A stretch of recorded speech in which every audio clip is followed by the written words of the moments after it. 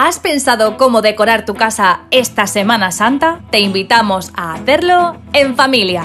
En este jueves santo, Día del Amor Fraterno, te proponemos decorar tu casa con corazones.